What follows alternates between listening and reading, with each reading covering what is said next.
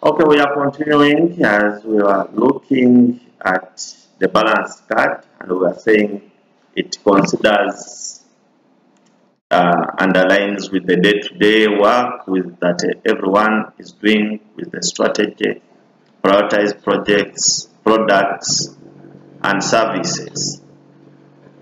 Measure and monitor the progress towards strategic targets. So every day people collect information and relate that how the, how the strategy is being implemented and is key management and performance too. Once you collect the information, it comes to inform. And let us for look at the four basic elements for balanced scorecard. It looks at implementation, as whole, how is it being implemented? It looks at the financial capacity. It looks at the client side or beneficiaries in organizations or clients or customers in business entities, depending which organization you are looking at. It looks at the internal processes. Internal processes, whether the business, whether organization, all have different internal processes they go through based on leadership, based on organization structure, based on the system, based on the organization culture, all determine internal processes. Then the learning and growth. How do we see the organization is learning from the experience? We have also seen like Kolb, when he talked in 1984, he brought experiential learning. So the organization also undertake this experiential learning and growth. We go through processes of learning, processes of doing, we become experts and then we grow. That's why innovation comes in, improving on services and seeing how sustainable, creating change and creating sustainability. It preoccupies our mind, both from the business perspective and also from the organization perspective. Yeah, still on the leadership, we have also seen how um, how John Kotter he talked about the eight steps that you go through. All these bring about growth and learning, taking steps in leadership that will lead you into growth and sustainability. Being sustainable organization, running business for some time, making profits, running organization, and providing services to the people and being there and people value you and the constituency or your beneficiaries can stand and say this is the organization that is catering for us in terms of they speak on our behalf. That is sustaining the programs. So this is the diagrammatic view of the balance sheet scorecard that you can look to look at those aspects and the strategy and the vision there in the middle to be achieved so you collect information from those four areas I've talked about, planning and growth, internal business perspective, finance perspective, and customer perspective.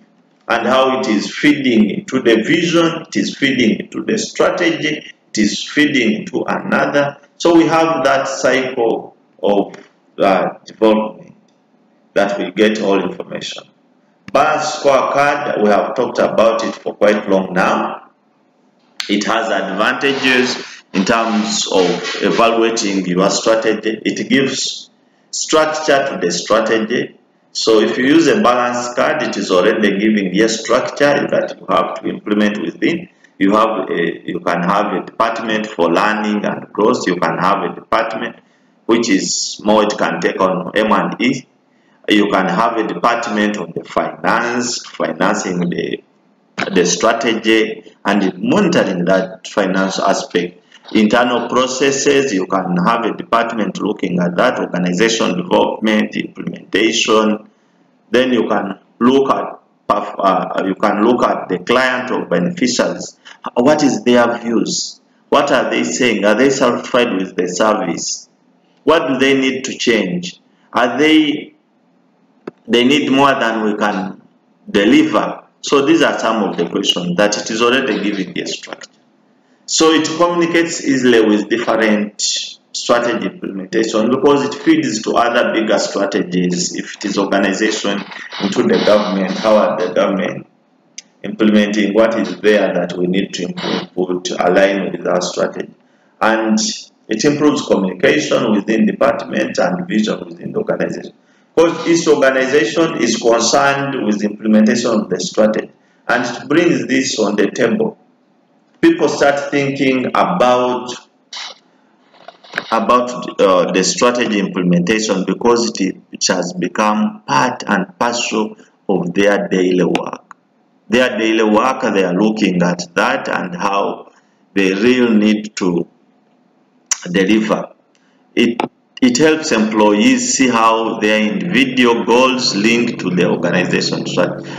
As you also understand, individuals have individual goals and when you bring all these individual goals into the into the organization, we get that organization goal. And therefore, the individual to fit into the organization goal, his individual goal must link with with the organizational goal. For example, if the organization stands for the right of people with disability, it wants to promote the rights of people with disability and your, your individual goal is not aligned to that, then you cannot work with that organization.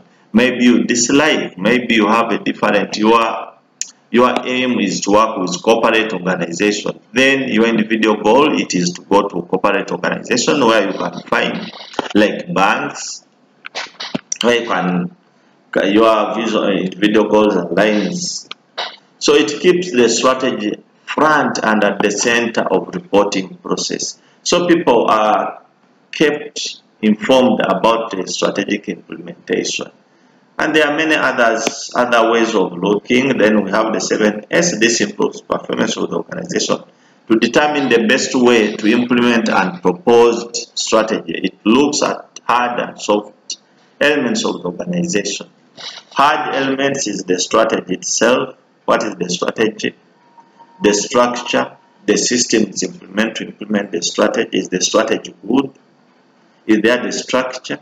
Is there a system that supports implementation of the structure? And how is it? Why, how, what is the strength of this system? What are the weaknesses? So then the soft skills, there are five. Uh, we have shared values or the staff do they have the shared value that the strategy is talking about? Then there is skills the capacity. Do you have like its do you have information experts?